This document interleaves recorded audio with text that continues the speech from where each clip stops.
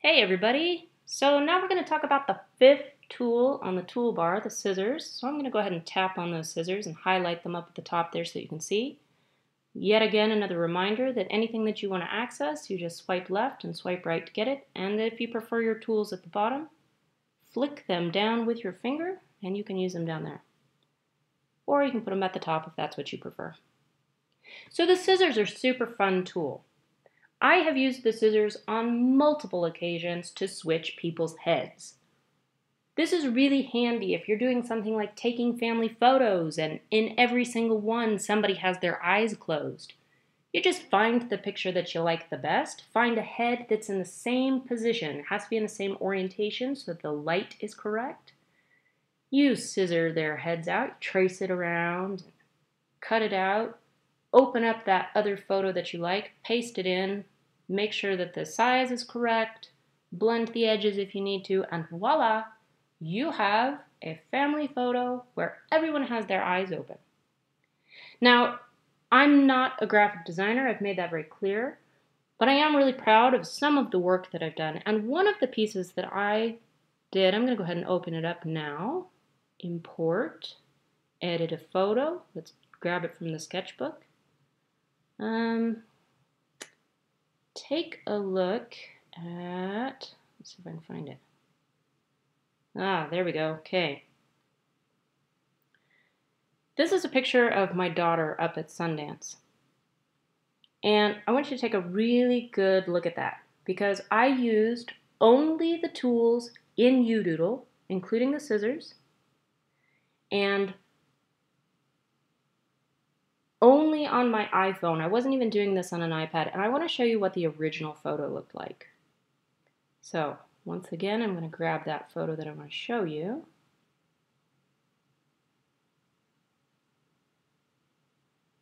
The original actually had a second little girl in it. This photo I loved so much of my daughter, right? It was just perfect. The mountain in the background and the lighting and her on the fence. It was just beautiful. And right as I was about to take it, this second little girl who I don't know, that's why I blurred out her face. I wouldn't want somebody using my kids in their tutorial. That would be wrong. So uh, I made her unidentifiable, but she she scrambled over and climbed up the fence right as I took the picture. And um, it was kind of a, a once in a lifetime shot because my daughter is not super cooperative. So she immediately scrambled down and started playing. And so this was all I had to work with. Well, using the scissors tool and a lot of other tools and combining them, I actually managed to remove this little girl completely from the photo to end up with this second shot. And I'm going to show you a little bit how to use those scissors tools to do some cool stuff. So um, let's let's pick a different photo. Um, my daughter, my older daughter, is really, really, really into Halloween and uh, plans her costume all year long. And last year, she wanted to be Thanos. So, I was actually, I saved some photos just that I could have a reference as I was trying to help build the costume. So we'll go ahead and use this Thanos uh, with the scissors. Now, I'm going to go ahead and remind you that if you have a stylus, this is actually a really good way to use the scissors tool. I'm going to be using my finger, which is just less accurate. But let's go ahead and click on the scissors, and there's really fairly good instructions right here if you forget how to use this. So, once you have used your finger or your stylus to trace the thing that you want to cut, to copy, to paste, you um, you go ahead and lift up and then tap on the screen again and and it'll give you all of those options. So I'm this is going to be pretty rough, just so you know. If I was working super hard on this, I would make sure that everything was very accurate. Now, I'm holding my finger down right now. I'm not really moving it at all. And you'll see that um, this circle pops up and there's a little green dot in the middle. That's where my finger is. And the circle allows you to kind of view what you're doing at a closer angle, a closer zoom. See, and I'm really close to the edge of my phone there, so my, my finger's kind of bumping into it. Um, so there's the start of it. I'm going to keep go. Oh, man, this is not fantastic. That is my fault. Okay, but I'm going to do this nice rough cut here of Thanos. This is where if you have, say, a larger screen, it is easier. You can also just take your time and do a really good job, and that's what I would normally do because I actually don't have a stylus. I think it sounds like a great idea, but I don't typically use one.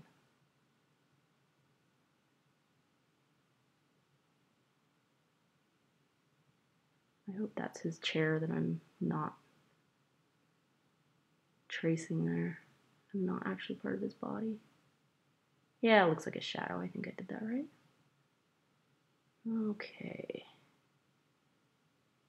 So let's get a shoe.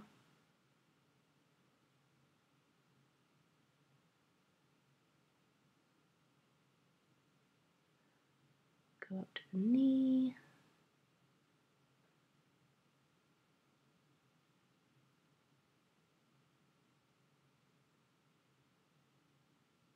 Kind of an angular guy. My daughter's really cool, by the way. She makes an excellent Thanos.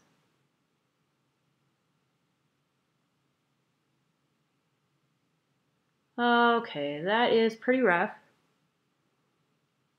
But now that it's outlined, I'm going to go ahead and just tap the screen. You'll see that a lot of options come up. In fact, to be perfectly honest, I have never used all of these. So maybe I'll experiment a little bit with you and see what some of these do. Or just experiment on your own so that this video isn't 100 years long. Um, the first thing I want to do, just to make sure that I have a copy of it, is I'm going to copy it. So let's go ahead and do a copy.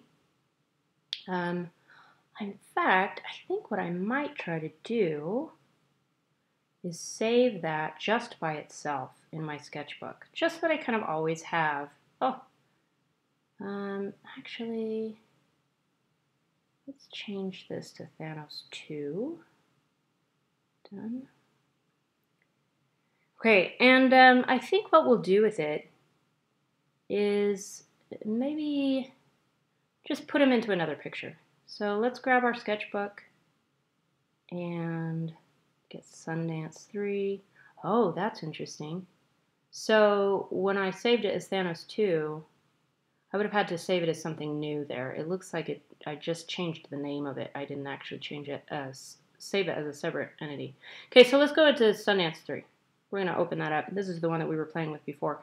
Um, let's say that I want Thanos to be right there on the trail. I'm going to tap this, and I'm just going to paste. So there's my Thanos that I cut out from the last picture. Done. And there he is. Should we make him as big as the mountain? If I want to, I can go ahead and expand him. Make him as large as you want. Now, if you save it and he is outside the edges of your, of your picture there, those will get cut off. Uh, I don't actually think I want him to be that big. I think I want him to just be big enough. In fact, there's a little, uh, there's a little uh, lift here, the Sundance lift. Maybe we can have him sitting on that. Yeah, I like that. Okay, so he's going to ride up on the lift. Are we done? Sure. Oh, but maybe we want another set of Thanos, so I'm going to put him in again. And this time he's going to sit on top of the mountain. Why not? And let's add another one because this is fun. And let's uh, change his orientation. Let's make him go Mm, mm, there. And uh, make him look like he's having a conversation with himself. Maybe I'm, that one's a little further away, so for perspective, let's make him a little smaller. Okay, so we've added some Thanoses.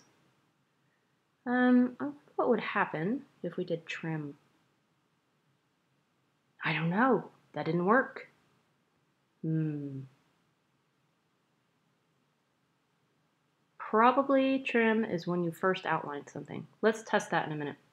Um, okay, so let's save this as. That's my problem. I needed to save as on the last one. And we'll save it in the sketchbook. So let's save as Thanos takes over Sundance. Yeah, done. Great. And then um, maybe we'll try one other scissor tool just to just for the heck of it. So let's import something. Let's um, let's find something kind of basic. How about these bleeding hearts? Okay. Done. I really want to see what that trim, trim tool does because I obviously have never used it and I don't know what it does. Okay, so um, I'm going to trace this. Nice rough trace of this bleeding heart.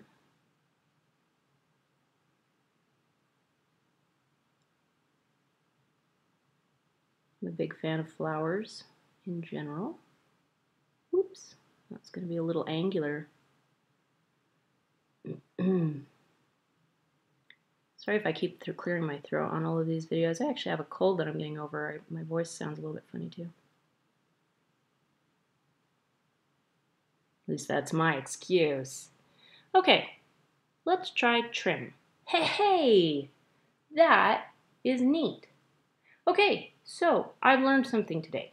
If you want to remove the background, you do trim. Let's see if we can undo that. You can. That's fantastic. All right, so um,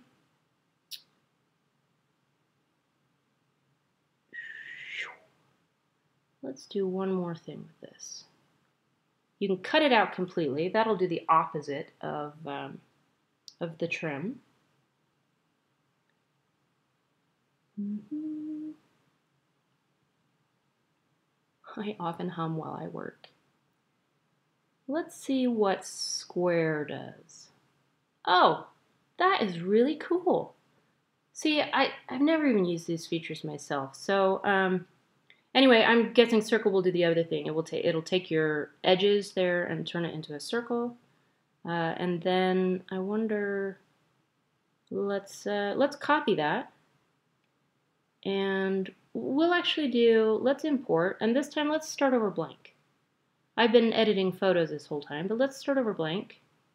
Um, I'm going to go ahead and widen that. I want to make it a full square.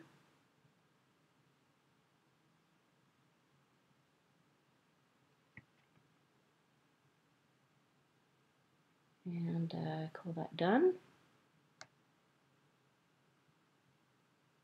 Okay, and then we'll do a quick paste. And there you have it. So let's, uh, let's make it bigger. Now, it did say square, and it's not perfectly square, but that's because if you notice the edges of where I traced, it took those outer edges and then made straight lines around it. So in fact, it is a rectangle. But that's still pretty darn neat. So let's leave it right here in the center. Uh, let's call that done. Am I done? I am done. And then let's try some of these other things that we've that we've done before. I'm going to use the eyedropper. I'm going to pick um, this pink color right from the center. I'm going to use a fill. If you notice the eyedropper, once I've used the, the eyedropper and I go to the fill, it changes it to that same color. I'm going to go ahead and color the outside. Uh, and then let's go ahead and use the brush. And maybe do the line mode. So we'll make a continuous line. We'll use the yellow, make that size just a little bit bigger. And maybe put, if I tap around each of the corners, let's see if it does a continuous line to each corner. So we can kind of make a little box around it, like a frame. It's not perfect, but that's me, not the program. And there you go. Just one random thing you can do with the brush, the pick, and the fill. Now, we haven't used the eraser much. I admit I don't use it that much myself. I usually use the undo feature. Um, let's change it so that the size is a little bit smaller and maybe clear out. Uh, now let's do it like this. Go ahead and make another square that I've erased and use the fill again. Let's uh, actually, let's use the eyedropper again. We'll use this green color. use the fill, fill that in, and there you have it. A fairly simple, rudimentary picture using the scissors to fill, the eyedropper, the erase, and the brush.